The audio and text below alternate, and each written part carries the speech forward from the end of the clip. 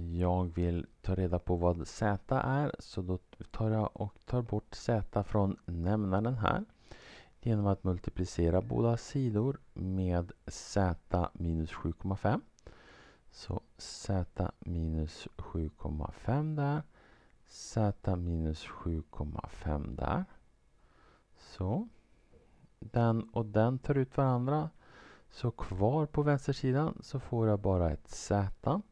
Och på högersidan så har jag 12,5 z minus 7,5 genom 10. Multiplicera med 10 på båda sidor.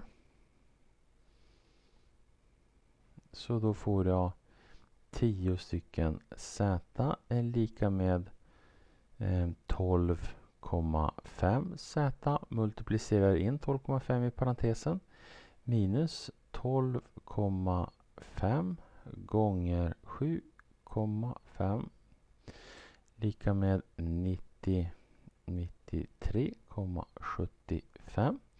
Och nu ser jag var någonstans har jag flest eh, Z. Jo, det är ju på den sidan.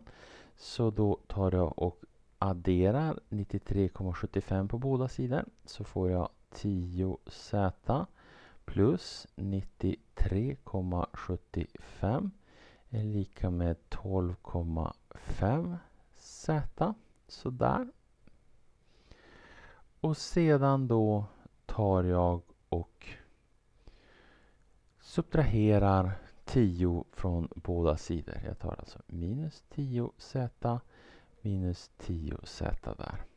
Så då får jag 93,75 är lika med 2,5z. Så då delar jag med 2,5 och då får jag 37,5. 37,5 är lika med Z.